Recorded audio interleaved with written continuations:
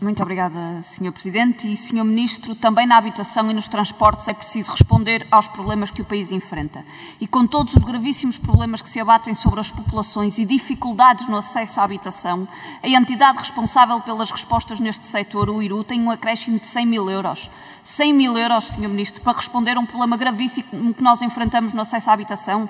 O que é preciso é duplicar os atuais objetivos de disponibilização de habitação pública, dar estabilidade aos contratos de arrendamento regular os preços da habitação, combater a especulação imobiliária que esvazia as cidades das suas gentes e revogar a lei das rendas. É este o caminho que se impõe. Soluções inadiáveis para travar despejos e para assegurar a todos o direito à habitação. Quais são os compromissos que o Governo assume para responder a estes problemas? E, Sr. Ministro, é com cortes no financiamento à redução tarifária que o Governo quer responder às necessidades da garantia de transportes públicos no país?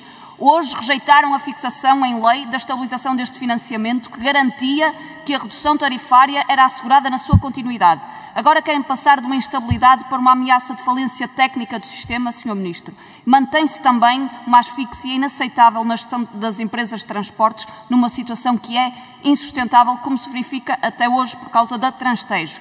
O problema das, da Transtejo e das situações das carreiras está diretamente ligado à falta de trabalhadores, à falta de respostas do Governo aos problemas neste âmbito, incluindo da necessidade de admissão de novos trabalhadores para substituir os que faltam. O Governo continua a ignorar que o transporte público não funciona sem trabalhadores. É fundamental concretizar investimento que responda a estes problemas. O passo único é uma medida de enorme alcance ambiental e social e resulta de uma insistência e de uma proposta do PCP que a defendeu nesta Casa durante mais de 20 anos.